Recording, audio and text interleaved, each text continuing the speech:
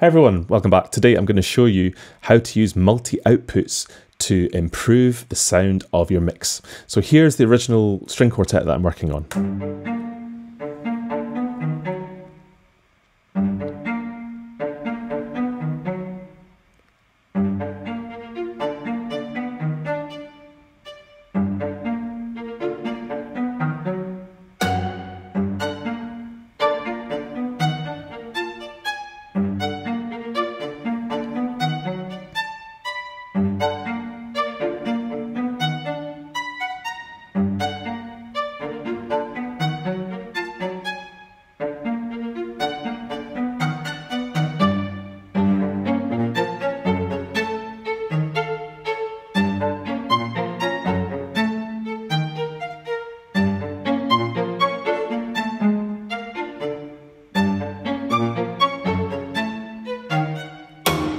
So that's just the first less than a minute of where I'm at with the string quartet, but I thought it'd be an interesting place to show you how to use multi-output. So here we go. First thing we're going to do is we're going to create a new track, new software instrument, and then rather than selecting stereo, we're going to select multi-output, and this allows us to really control the routing of where the sounds and the microphones go in the DAW. So create that new track. Let's load in the cello leader. We're just going to use cello for this example. So load that in.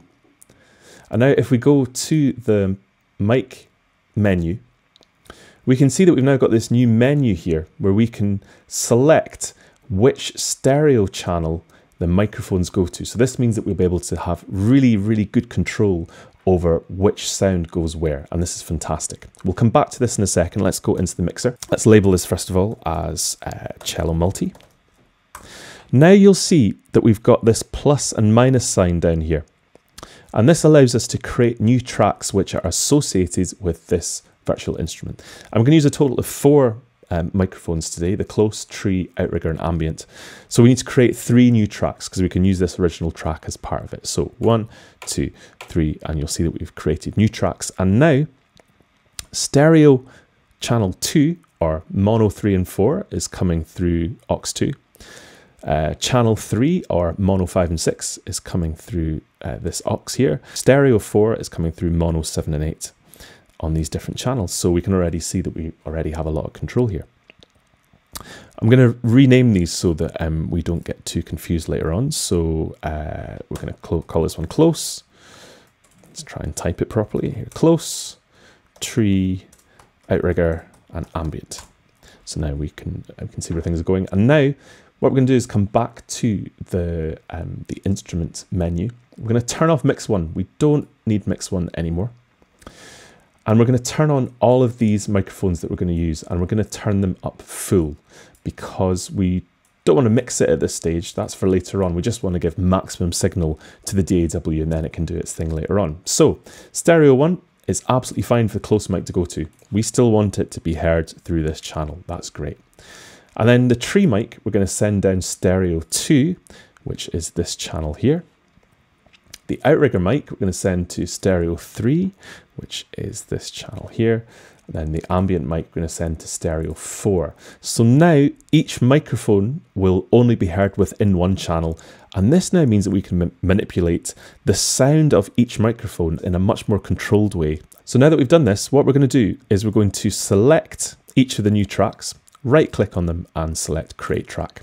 So now you'll see we've got these new tracks being created up here. So the next thing we want to do is bust these together. So the cello is still heard kind of as one instrument as it were. So I want to select the four tracks that are associated with this cello, right click, create track stack. Then we want to create a summing stack, create that. And now you'll see that all of these microphones are being routed into bus one, which we're going to rename as violoncello, and let's just call it multi so it looks a bit different from the other one. So now that's the basics of setting up your multi uh, mic outputs. So now you've got complete control over the sounds that you want. So if I just drag the MIDI in here, really uh, useful thing is that you can put the MIDI anywhere you want on these uh, four channels and it'll still come across. Just remember that you need to set the articulation set of the new channel, um, which has the MIDI on it. So you go strings, and then we've got cello leader, and this means that all the articulations from the original um, place will, will work. So now we can actually muck around with the sound. So I'm going to start with actually just the close mic and let's just see what that sounds like on its own.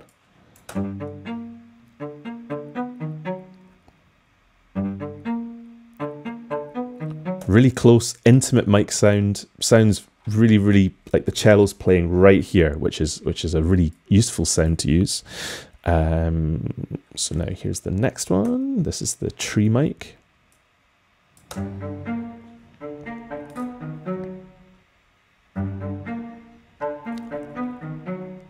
And this is the most realistic microphone, I suppose, or the, kind of the most useful one. If you only had to use one microphone, use the tree mic. So let's go to the next one, Outrigger on its own.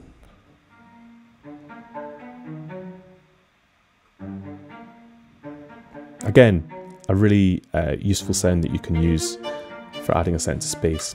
It would help if I turn these other channels off. That's the outrigger mic, and then here's the ambient mic on its own.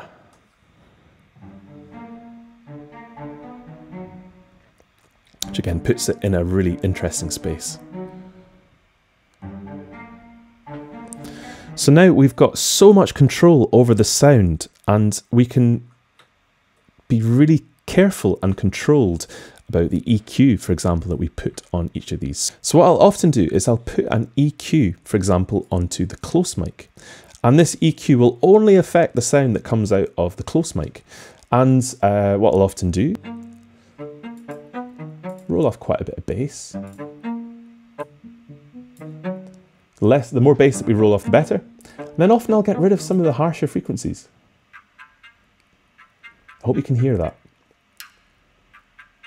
It's got the real grit, which you might want in the mix, but normally you just want the warmth. But this already means that we've got more control over the sound. You can do this for every single microphone. And I would do it for every single instrument as well. So this is what I would do um, when I'm kind of fin finalizing the piece and I bounce things down. Um, and then I would mix it in this way. They can get a little bit RAM intensive um, sometimes, uh, particularly if you're using a big orchestral piece. You might have seen one that I did recently, which had like 30 gigs of RAM because every instrument had four microphones on it. But in this kind of setting, I'm sure most computers have sort of at least 8 gigs of RAM, 16 gigs of RAM if you're on a Mac probably, um, should be easily, easily achievable um, if you're writing um, for a smaller ensemble and it gives you so much more control of the sound. So that's multi-outputs extremely useful tool when it comes to the mixing stage. Thanks so much for tuning in uh, again to this vlog. Let me know in the comments if this was at all useful or um, if there's anything else you want me to cover over the next couple of weeks. Uh, really happy to hear from you guys. Thanks so much for tuning in and see you next time.